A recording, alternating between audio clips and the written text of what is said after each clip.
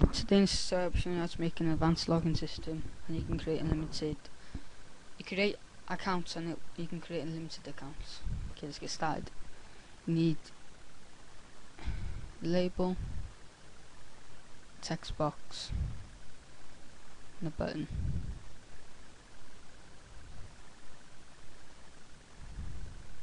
Copy it, paste so you have a second one.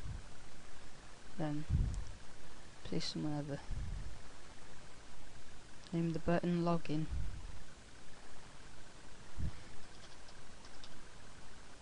And label one user.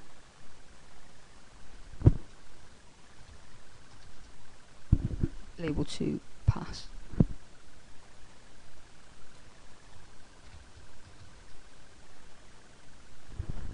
Okay, and then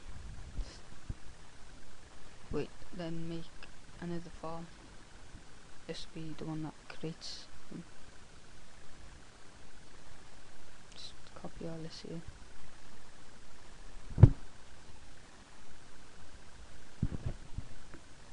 Then paste. Then change login into to create.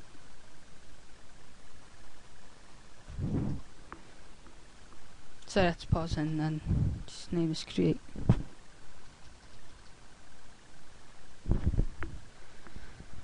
Okay, then go back to form 1, form 1, double click on login, then just copy this and I'll go through it with you now.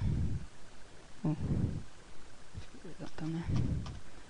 Oh yeah, before I go through it, make sure this is login, uh, text box 1 and this is text box 2, okay.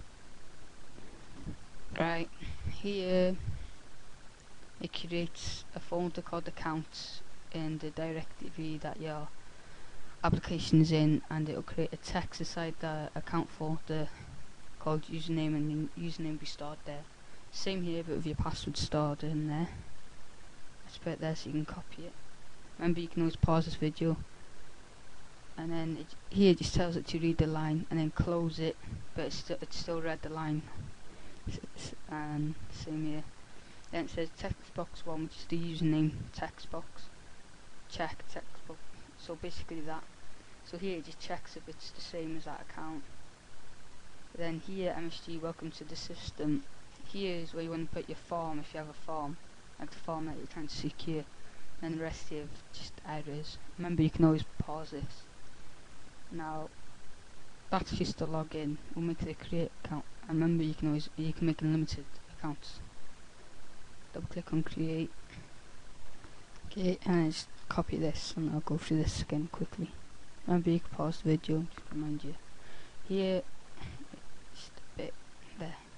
Here it'll check if the account folder exists by your application. If not it'll create it. And then after it's created it it will start to make the account. And then here just writes it and writes the username and writes the password as and writes the username password. Um now we can test it. Um wait just in case you didn't see it all. Remember you can pause this. There's only just the one little bit here. Right. Okay now we'll test it.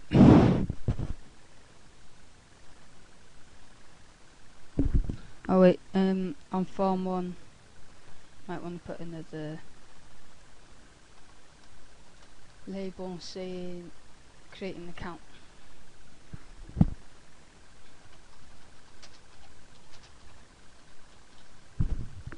And then double click on it. And write form two dot show dialog. Test it now, hopefully it'll work. Okay.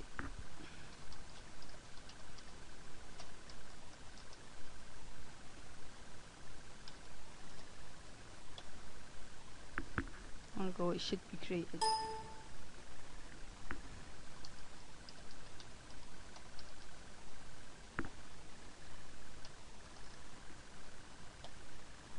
Welcome to system YouTube and instead of this message box you'd have something like a form where you store passwords or something like that and that would go here instead of it. So just put